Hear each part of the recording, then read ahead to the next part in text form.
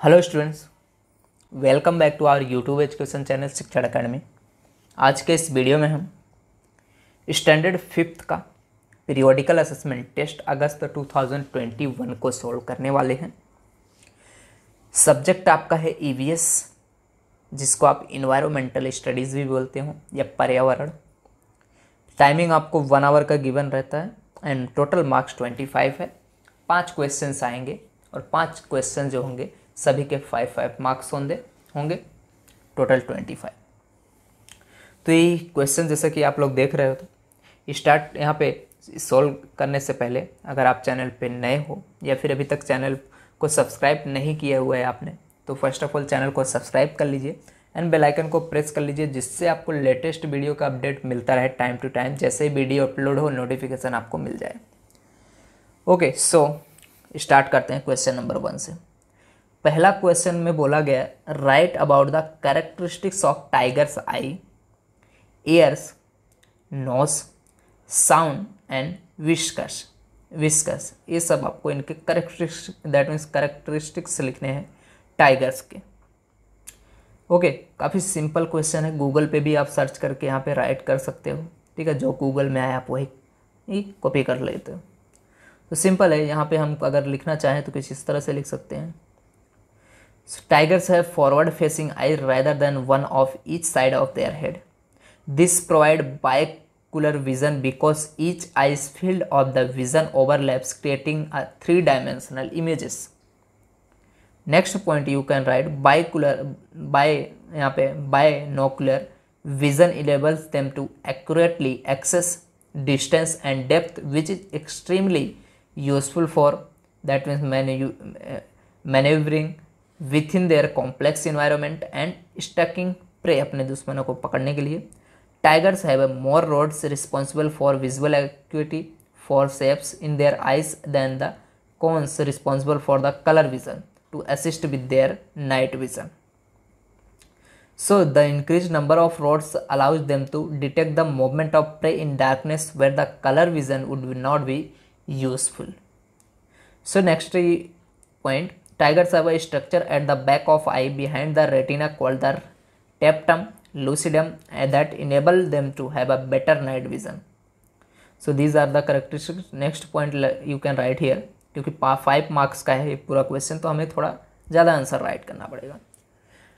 ठीक है this mirror like structure effect light back into the eye as a second at a second time to help produce the brighter image तो इस तरह से the tapetum lucidum causes their eyes to glow at the night. When a light is shone on them, cats in general have a broad horizontal line of the nerve. That means you can write this. ठीक है इस तरह से आप इसको right कर सकते हो बाकी के करेक्टरिस्टिक्स ये रहे सो so, ये सब हो गए आप और भी आप यहाँ पे गूगल से सर्च करके राइट कर सकते हो लिखना चाहो ये क्वेश्चन नंबर हमारा वन हुआ बाकी बात करें क्वेश्चन नंबर टू पे आए तो आंसर द फॉलोइंग क्वेश्चन बोला गया है why snakes are called farmers friend ठीक है, सभी अगर आप स्नैक तो देखो स्नैक को कोई भी देखेगा तो सबसे पहले डर जाएगा, कोई भी उसका दोस्त नहीं बनना चाहेगा, लेकिन क्वेश्चन में बोला गया why snakes are called farmers friend लेकिन जो स्नैक्स होते हैं साफ़ होते हैं, वो यहाँ पे किसानों के जो फ्रेंड क्यों बोले जाते हैं? ठीक है, क्योंकि वो दोस्ती तो करता नहीं, दोनों के दोनों इंसान नहीं, एक सांप है, एक इंसान दोस्ती तो हो नहीं सकती। तो ठीक है तो देखते हैं इसका आंसर क्या हो सकता है। सेकंड उसके बाद क्वेश्चन है आपका which animal are use to earn life lip food and how किस तरह से।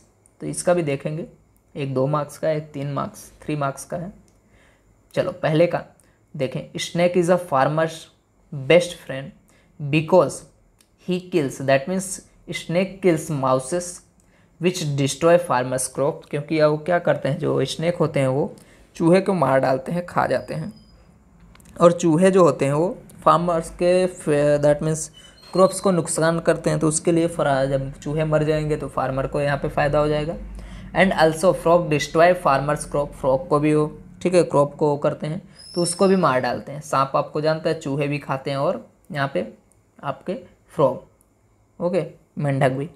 And snake favorite food is mouse and frog, so he reduce number of animals and help the farmers. ठीक है? तो स्नैक का favourite food क्या है?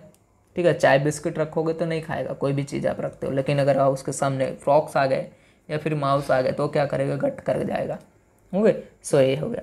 बाकी सेकंड क्वेश्चन की बात करें, उसका आंसर आएगा। Yes animal are use to earn livelihood like snake charmers following peoples also depend upon them animals on their livelihood जैसे कि milk man get milk from the cows and buffaloes to sell to their livelihood ठीक है?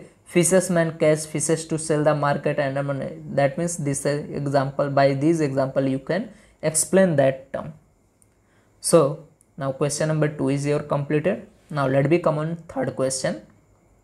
Third question is your correct और incorrect हमें यहाँ पे identify करना है. Strike off the incorrect word and frame the correct word आपको क्या करना है? जो इनकरेक्ट है, उसको कट कर देना है। बाकी जो करेक्ट है, उसी को राइट करना है।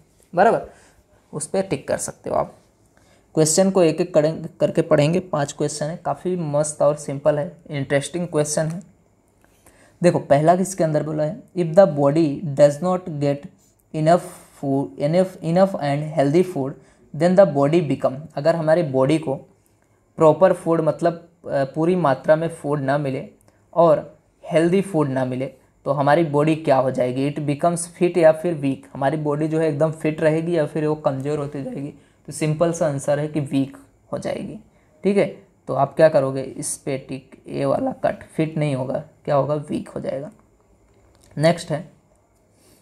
आगे। ठीक है? तो आप एक पे जो रॉन्ग है उसको कट कर दो। इस पे कट कर दो। हमारा ए वाला आंसर आएगा।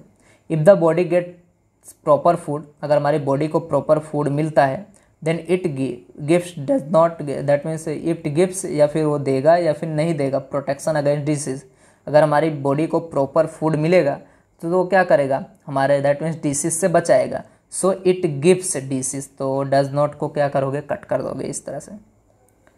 नेक्स्ट है eating home made fresh food keeps the body tired या फिर एक्टिव अगर हम घर से बना हुआ खाना फ्रेश खाना को खाते हैं तो हमारी जो बॉडी है वो टायर्ड रहेगी, थकी हुई या फिर एक्टिव रहेगी। आप जानते हो कि एक्टिव रहेगी तो टायर्ड को हम कट कर देंगे इस तरह से।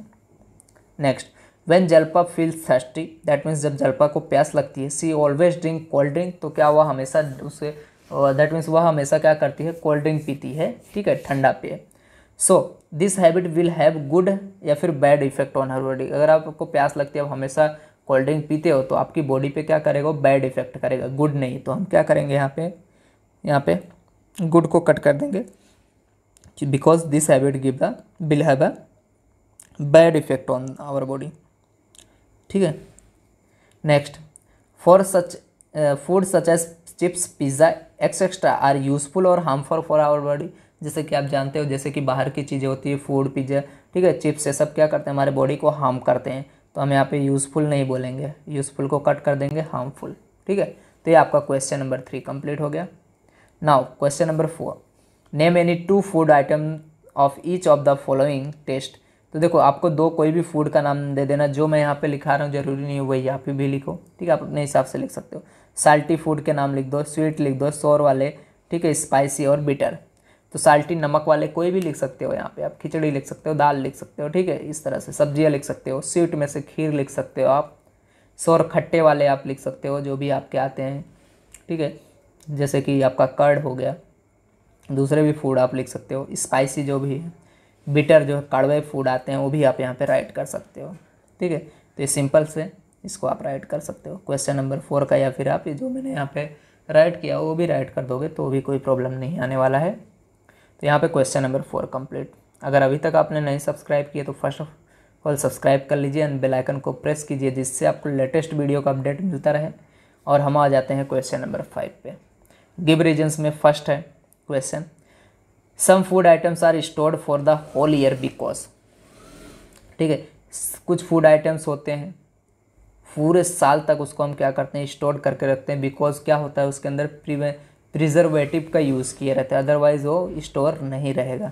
Because preservatives are added on that grains are dried well in sunlight before their storage because some मतलब जो ग्रेन्स होते हैं, दाने होते हैं, उसको हम क्या करते हैं?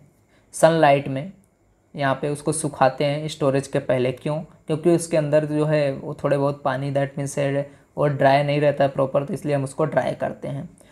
They contain moisture and can spoil that is why they are dried before they are stored so this is your complete answer of second question now fifth का बी वाले का आंसर देख लेते हैं. बी वाले में आपको बोला गया name any two food items that can be stored for whole year पूरे साल तक.